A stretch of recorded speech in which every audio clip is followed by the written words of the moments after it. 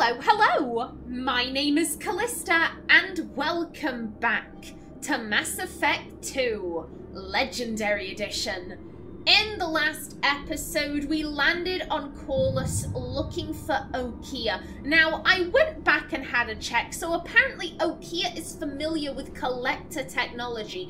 That's why we're looking for this guy, why we want him to join our team. Now then, uh, if I sound a little panicky in this recording... Oh, hello. Hello there, you alright? Uh, I'm, I'm, I'm trying to tell a story here. I'm trying to establish a narrative. Could you not? You know what, let me... There we go. Krogan, closing in. Oh, Krogan. There we We might have been hit, but we took him out, and that's what matters. Hello? You know what, we'll, we'll go that way. Time to die. Oh, hello. Hello. I heard that. Oh, no, no, that. They're up there apparently. Hi. Okay.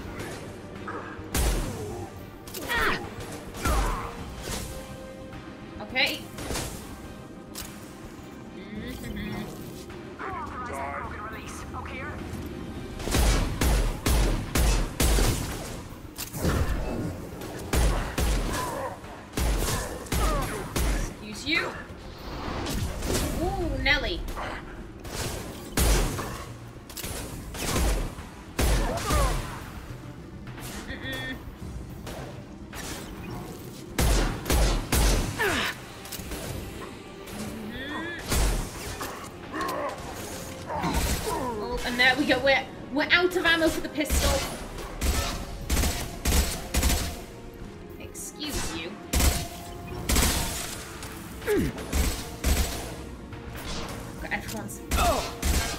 Everyone's. They're all coming round.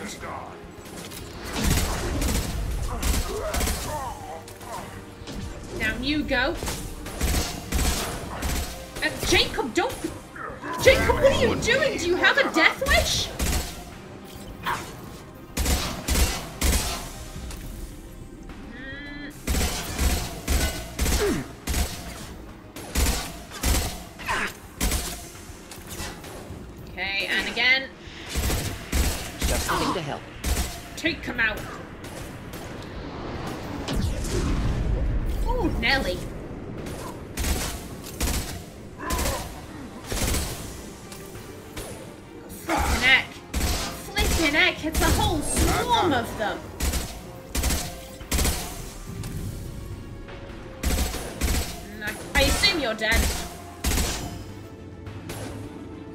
Let's just wait. They've got to come round this way. Deploying incineration tech. Also, which which bullets am I using? Hmm. Here's the, I like the incendiary. I enjoy setting things on fire. Okay, is everyone chill now? Is everyone chill? All I wanted to do was explore. That that is a medkit. Okay, thank you. Thank you, I will be taking that. Um now as I was saying, if I sound a wee bit panicked, that is because when I when I opened up the EA app to prepare for this recording session, imagine my surprise when the EA app told me I don't own half the games that I do own. Namely, Dragon Age Origins and Dragon Age Inquisition. I still had Dragon Age 2. Still had that one, but Dragon Age Origins and Dragon Age Inquisition. Oh no, I never purchased those. I hallucinated purchasing them. I clearly never owned them. All the DLCs and like extra gubbins. Oh yeah, yeah, I own them, but not the main games. And the uh, the help page for the EA app is about as useless as the EA app. I do not like the EA app. I think it is shit. Um. Krogan took down the grid. We're blind and getting hit on all sides. Where are the heavies? Yo, I have no idea. I have no idea where the heavies are at. But yeah, all of the advice for like what like what does this mean? Oh, games have disappeared from your EA app. Clearly, it means that you logged into the wrong EA account. I only have one.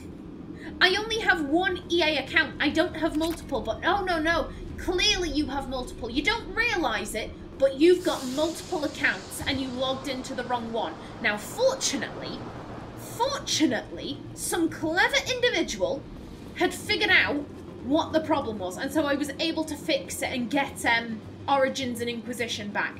But boy, was I pissed. Boy, was I pissed. Mm-mm.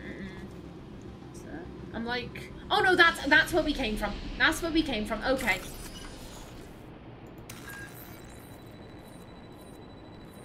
Mhm.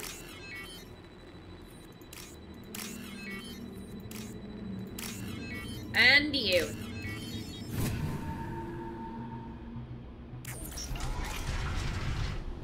But I I would have been so pissed if I had to repurchase Origins and Inquisition. Those those are two of my favorite games of all time. Copy, goddammit! Where's Jedore and her personal guard? Oh. Yeah, Okeer's decided to stop playing. Mm, Hello. Well, uh, let's. Where?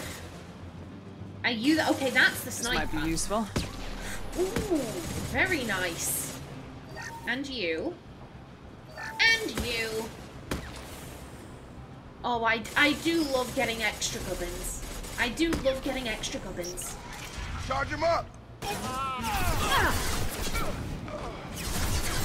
Okay. Just wait.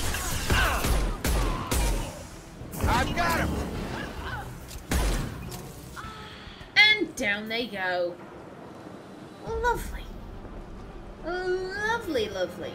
Uh, just, just, there we go, carefully.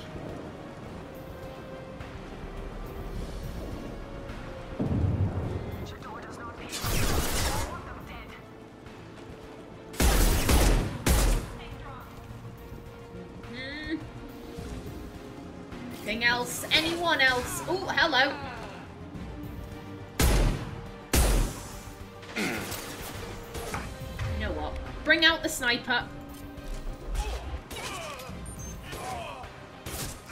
Come on. Come on out. Good shot! I've got him!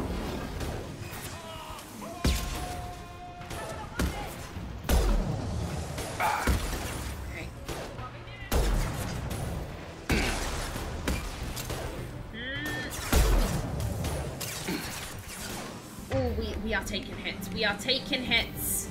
You know what? Move up. Move up. That was a nice Oh, shit a brick.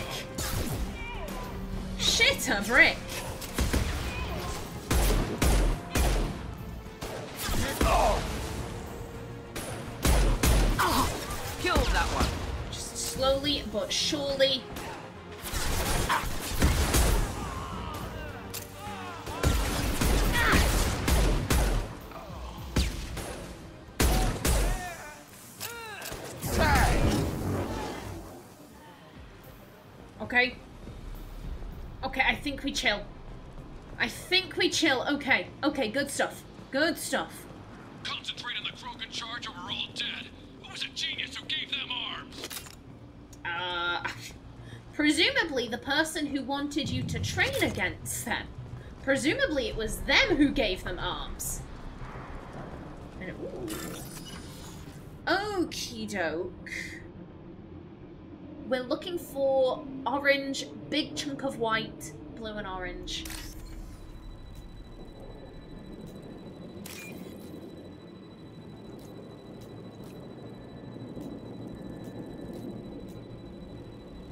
Green, white, and blue.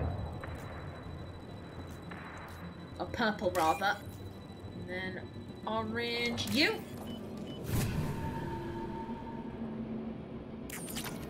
Lovely. I, I do appreciate all of the money we are getting on this shithole planet. That is... It's phenomenal. Hmm, hello?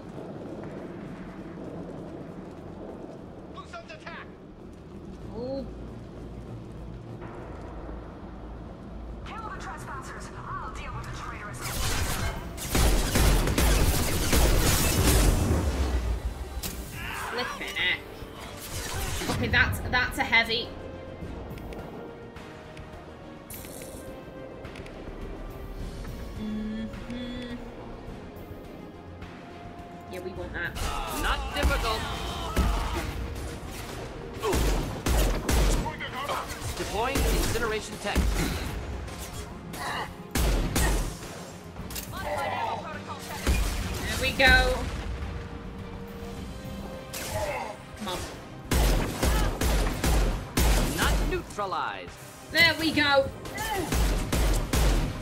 I've got him. Oh, nice, nice going, Jacob. Okay, again. Again, we look safe. And again, don't mind if I do.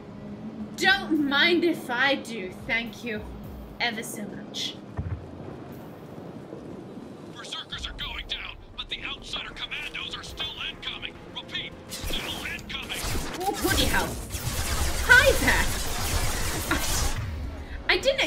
You all to just be waiting for me. Hi. Okay, let's do one of them. And do one of them. And how much ammo do we have? We've only got three shots. And let's do one of these.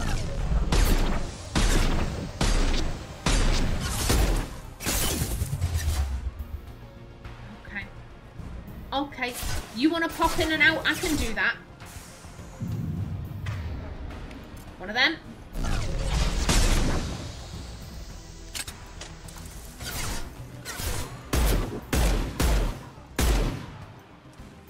Down they go. Down they go. Everyone's looking great. I have... Oh, hello. What? He was just playing dead. Was just playing dead. Like, if I if I lie still enough, they'll never know. I need everyone out of the labs to fight this. Every floor, every outpost, move! Oh god, we're, ju- we're literally just taking money from that guy's, you know, pockets. Flipping heck.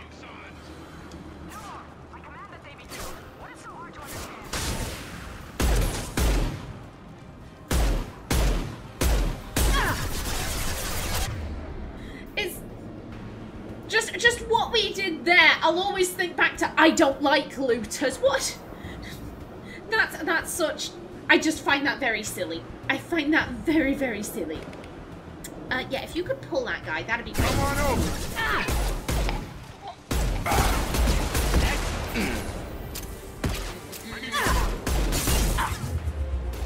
Stay down. Stay down. We can wait. We can wait.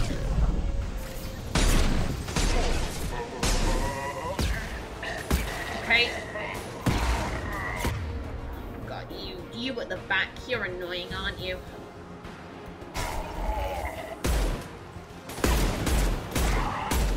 I've got. And then you.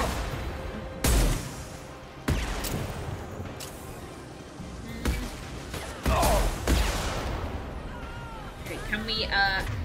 Okay, I don't, we don't have anything there. And bring out, bring out the sh... Mm. Okay, I guess we have to bring out the shotgun. Rifle. I prefer that one.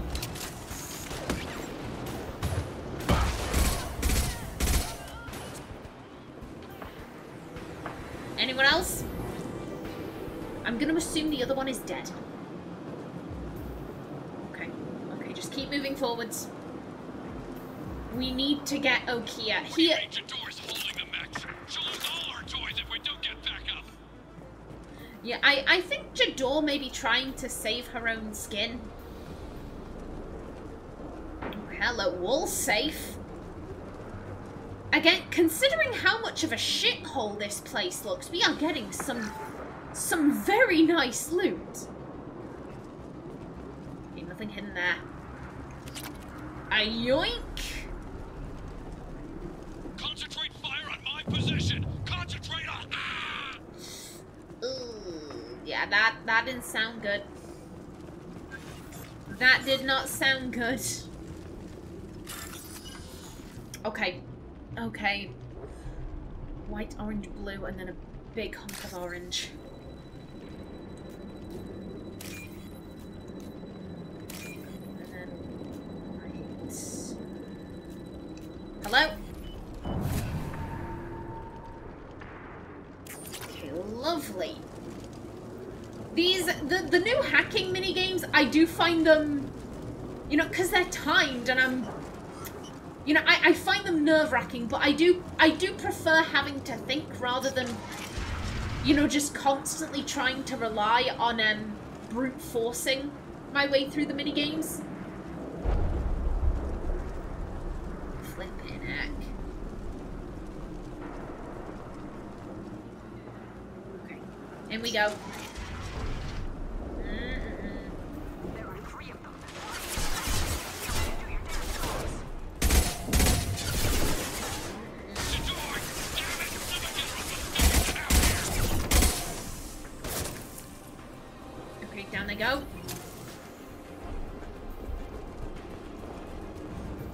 And my thought. I'm just like, we're in a big area. We're in a big area. I've lost shields. So I hope I hope that guy is okay wherever he floated off to. Okay, just move up. Move up where we can. Hello.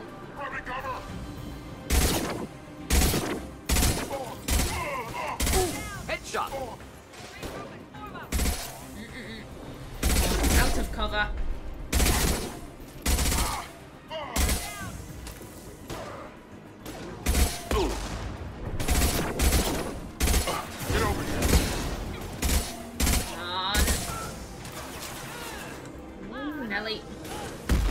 Making contact. Nice going, Mordin.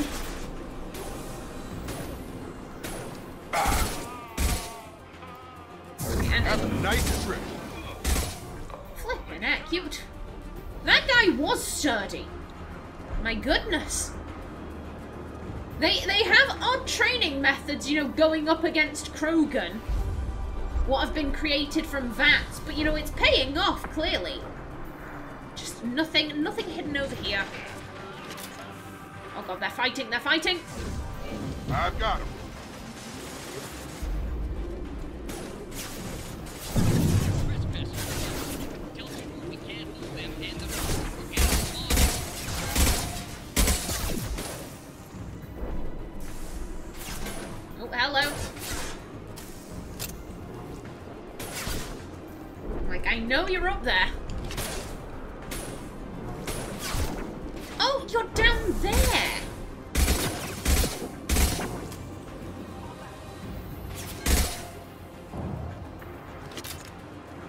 Buddy, buddy. I'm just like, I think you might be a wee bit confused.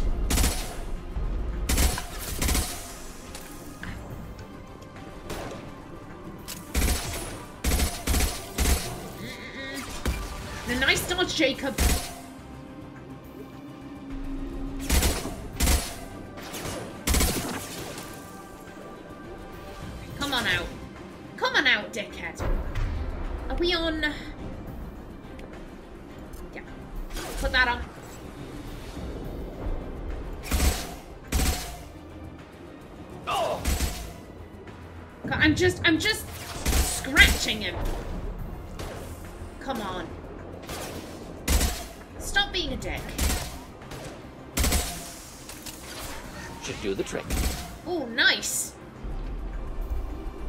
That did do the trick. Lovely.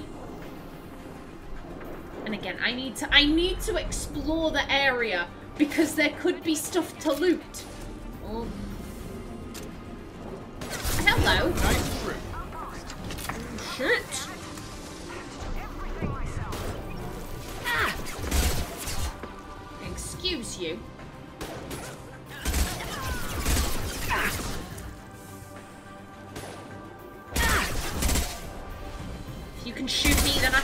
You.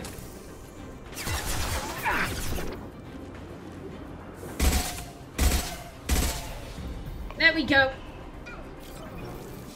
There we go. Okay. Okay, give me some more ammo, please. Excuse you. Go. she was just like, no, I'll just stand here. I'll stand here. Everything will be right. Yeah, we have we have enough.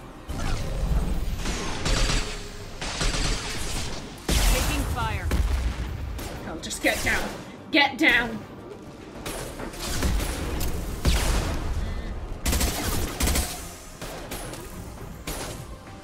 Hold. Have a nice trip. Okay. Whoop. Just keep dodging, keep dodging. And down he goes. Okay, there's the last of them. I don't suppose any of you left your wallets just conveniently on the ground waiting for me. No, it doesn't look like it. Boo. Boo. No, no, don't, don't. I'm trying to just run. Just run. There you go. It's fine. We're safe. Reload. We might as well. Anything, anything hidden over this way? No. Okay. Alright then. Come on. Come on, people. A yoink. Okay. In we go. Oh, hello. Hello. Shepard, don't shoot. You know me. Oh my god, Rana! Yeah, this was the, um... This was the girl at, uh... Bloody hell, it was Virmire. Yeah, this this lady was, um... She was working for Saren for a bit. We, we let her go. How, how do I put this? So, um, she was there to, you know, examine the effects of indoctrination.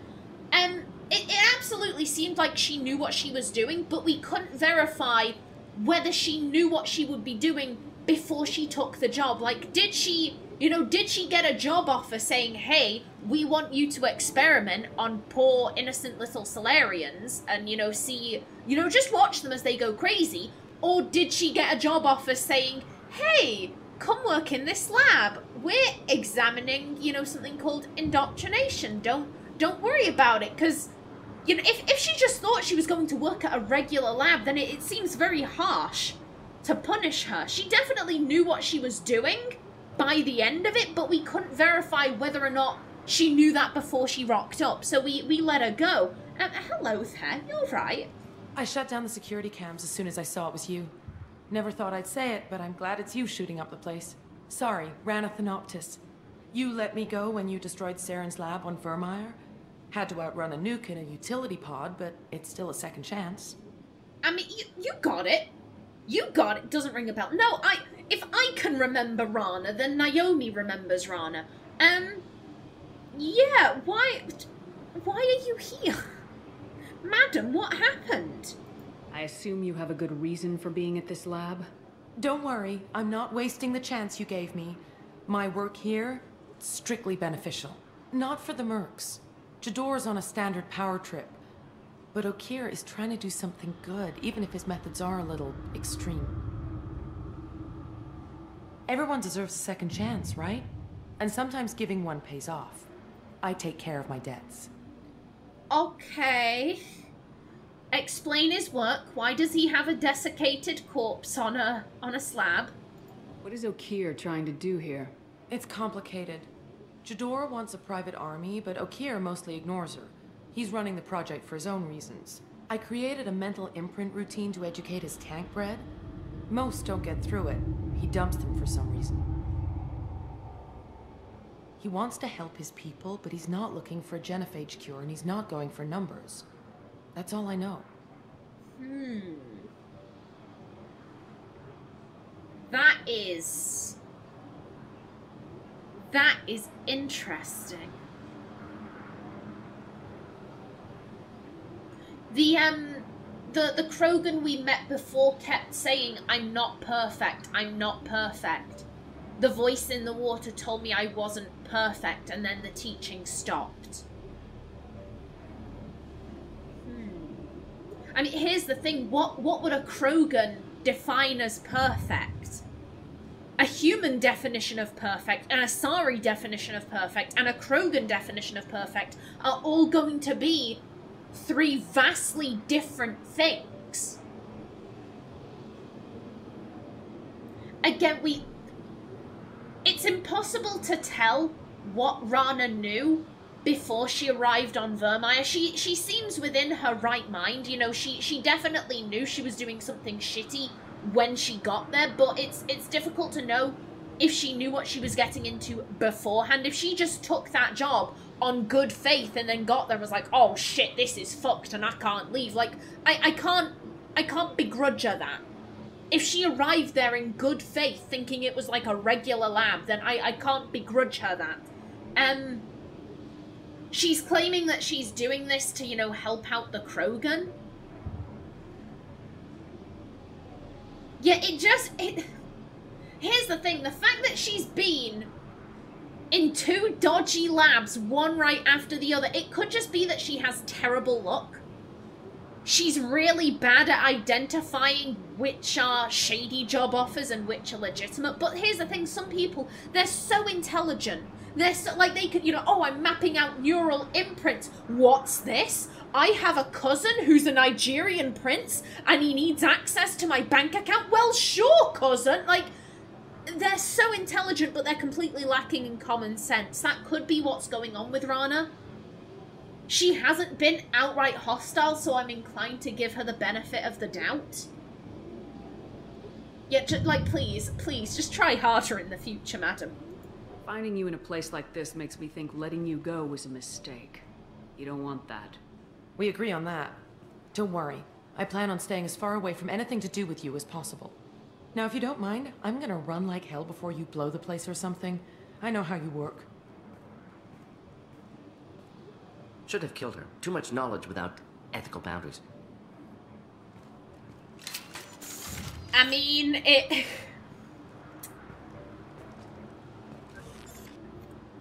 That is, that is absolutely a human skeleton. This is... Here we see a Krogan dead body. These things do not match. So whose body is this? What human did they do this to? I... Either way, I'm, I'm gonna take their money. I'm gonna take their money. Is that... Yeah, that is right. Mm, you, and we want... You.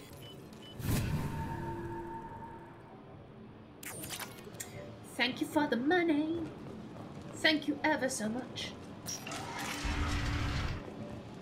Hello. Aha! Here you are. I've watched your progress. Okay, that's nice. Um, you know what? I am... I am just about out of time for this episode, so I'm gonna I'm gonna bring this to a close right here. Let's let's have a read of some codex entries first, though. That's all good. Krogan Blood Rage. Feared throughout the galaxy as nightmarishly violent warriors, the Krogan are both aided and hobbled by their legendary blood rage. In the grip of that madness, Krogan become seemingly invincible, but are merely totally unresponsive to pain. Blood enraged Krogan fight regardless of injury level, to the extent that the Krogan shorn Oh, to the extent that Krogan shorn of all four limbs continue gnashing past brain death until total somatic death. Flippin' heck. The supremely resilient, hyper-violent blood rage is the synergy of two aspects of Krogan neurology. The first aspect is a positive feedback loop in which adrenaline, also activated by fear or rage, suppresses serotonin, the brain chemical that induces serenity. The second is the overdeveloped Krogan limbic system. In Krogan, as in humans, fear or rage shifts mental control from the frontal lobes, responsible for reasoning, to the limbic system, responsible for aggression and survival. During that shift, Krogan and humans exhibit diminished capacity for logic and self control. Prior to the ecological devastation of Tuchanka, blood rage was extremely rare among the Krogan. Back then, while all Krogan were capable of heightened anger and violence in fight or flight scenarios, almost none experienced insensitivity to pain. The 1% who did were those suffering serotonin suppression. At that time, Krogan society regarded the condition as pathological and medicated or imprisoned sufferers to protect them and society. Following nuclear ecocide four millennia ago, evolution selected only those Krogan afflicted with blood rage for survival. Today, there is no living memory among the Krogan of a life without mindless, murderous fury. Very interesting. Krogan culture. The harsh Krogan homeworld conditioned the Krogan psychology for toughness, just as it did the body. Krogan have always had a tendency to be selfish, unsympathetic, and blunt. They respect strength and self reliance, and are neither surprised nor offended by treachery. The weak and selfless do not live long. In their culture, looking out for number one is simply a matter of course. After their defeat in the rebellions, the very concept of Krogan leadership was discredited. Where a warlord could once command enough power to bring entire solar systems to heel and become overlord, these days it is rare for a single leader to have more than 1,000 warriors swear allegiance to him. Most Krogan trust and serve no one but themselves. This solitary attitude stems in part from a deep sense of fatalism and futility, a profound social effect of the genophage, which caused Krogan numbers to dwindle to a relative handful. Not only are they angry that the entire galaxy seems out to get them, the Krogan are also generally pessimistic about their race's chances of survival. The surviving Krogan see no point to building for a future, there will be no future. The Krogan live with an attitude of kill, pillage, and be selfish, for tomorrow we die. And the Genophage.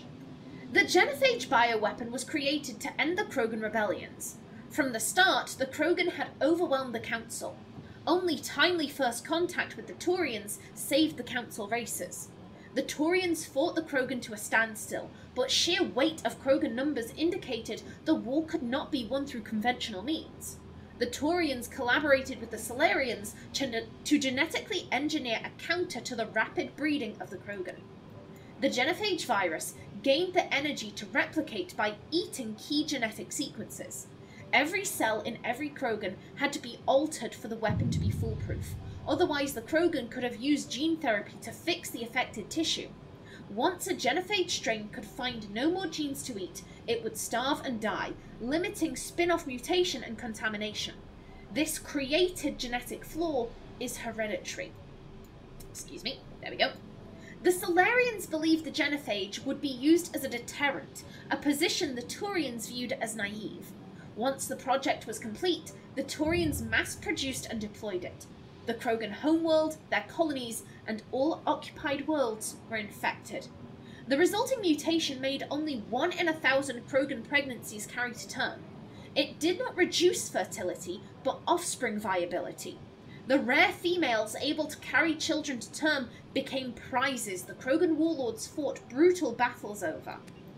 The Krogan are a shadow of their former glory.